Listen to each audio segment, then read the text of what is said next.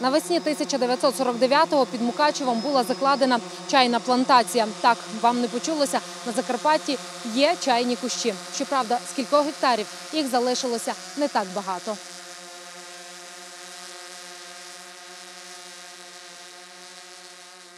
За часів радянського союзу вчені намагалися розробити методи вирощування північних рослин на півдні і навпаки південних на півночі. Наприкінці 40-х саме з такою метою на Закарпаття приїхали науковці на чолі з грузинським академіком Чхаїдзе.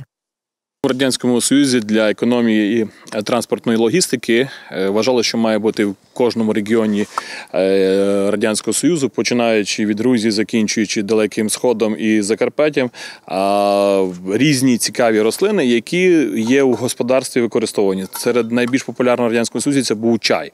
Але від собі транспортування із Кавказа в Закарпаття чаю, да, і в той час да, з тими дорогами, з тими зв'язками, тому було найлегше проводити мічурінські дослідження, як ми їх називаємо. Сюди з Грузії приїхали молоді хлопці. З інституту чаю, да, із Сухумі, які пробували вирощувати тут близько дев'яти видів а, чаю. Варто додати, що науковці приділяли увагу не тільки чаю. Були спроби вирощувати тут і інші теплолюбні рослини лимонники, банани та каву. Але найуспішнішим був саме чайний експеримент. В книзі академіка Чхаїдзе Культура чаю на Закарпатті зазначено, що для проведення агротехнічних дослідів вони використали насіння чаю грузинської популяції із Зугдицького району, який максимально наближений за кліматичними умовами до нашого регіону, а також краснодарське і шомахецьке та сорти грузинський номер 2 кангра і японо-індійський гібрид. Пізніше, як і все у радянському союзі, е, потребувало великого фінансування.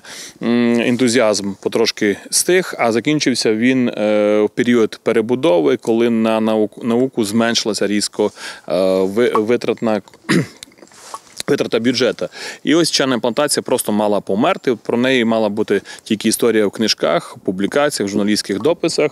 І е, група ентузіастів е, кілька років тому назад е, вирішила розчистити, а потім взяти під охорону Загалом в краї було шість експериментальних ділянок, та нині залишилася лише одна, і принаймні її хочеться зберегти. Адже свого часу Закарпаття було визнано найперспективнішим регіоном для вирощування чаю. Нині небайдужі громадяни намагаються своїми силами доглядати за плантацією і зберегти її. Серед них Ілля Токар, екс-очільник Мукачівської РДА, каже, що зважаючи на туристичний потенціал району та унікальність цього об'єкта, було б неправильно про нього просто забути. А тому туризмознавці вже працюють над розробкою туристичних маршрутів до одного з яких і увійде ця плантація.